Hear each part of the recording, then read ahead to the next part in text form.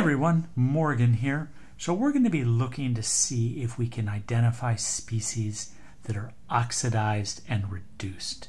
And this is page three of the electrochemistry outline. So look at the charges here. SN, tin, goes from a 2 plus to a 4 plus. That means it is losing electrons.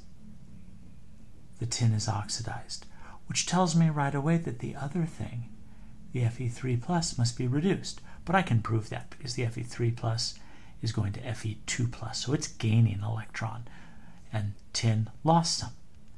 Now, what's the oxidizing agent? That has to be the Fe3 plus because it's the thing that's reduced, so then the reducing agent is the SN2 plus. All right, now here, hydrogen plus 1, chlorine minus 1, sodium plus 1, oxygen negative 2, hydrogen plus 1. Here, plus 1 on a sodium, negative 1 on a chlorine, plus 1 on that, negative 2 on the oxygen. You know what? This is an acid-base reaction.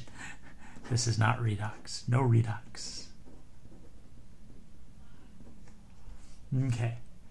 Now here, CH4, this carbon is a negative 4.